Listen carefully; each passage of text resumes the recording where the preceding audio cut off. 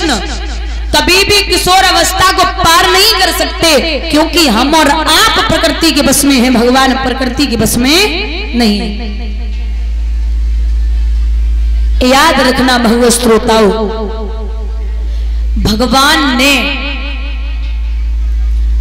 अपने पुत्रों को और नातियों को समझाया था कि कुछ भी करना कितना भी पाप कर लेना, मैं तुम्हें बचा लूँगा। लेकिन कभी भी जीवन में उस दिन भी बताया था कि संतों का और ब्राह्मणों का अपमान मत करना।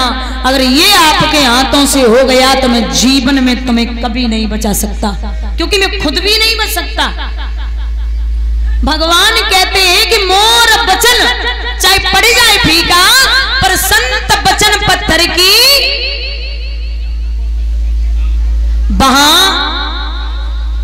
प्रसंग उठता है कि भगवान ने पांडवों का राजसु यज्ञ करवाया।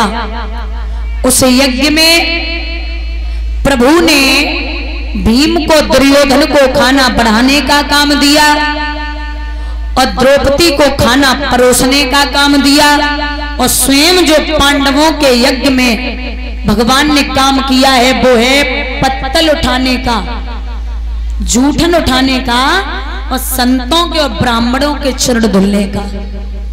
ये भगवान का काम था उस राजसु यज्ञ में। भैया पूर्ण यज्ञ करवाया है।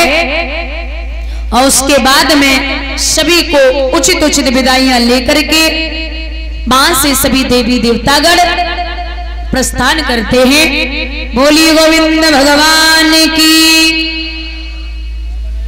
ये माल्यार्पण कर रही है साक्षी कीर्ति छोटू।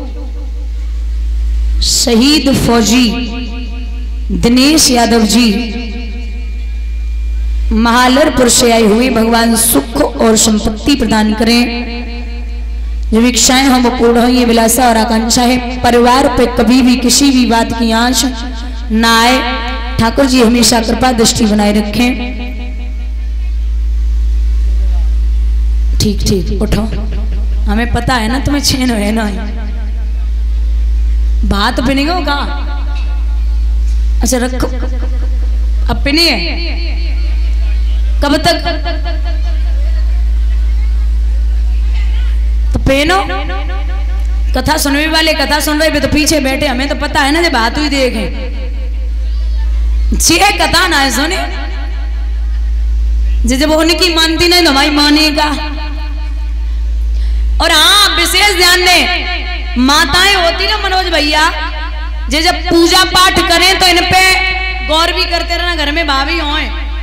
हैं, होए का। उन्हें देख निहार के। देखते रहना, क्या कर रही क्या नहीं, क्योंकि एक मैया की नई नई शादी हुई के आई सुबह आँगन में तुलसी को पेड़ो लगाओ, और वो तुलसी के पेड़े पे अगरबत्ती घुमाएगी, बोली, अरे तुलसा मैया, हम तो पूजी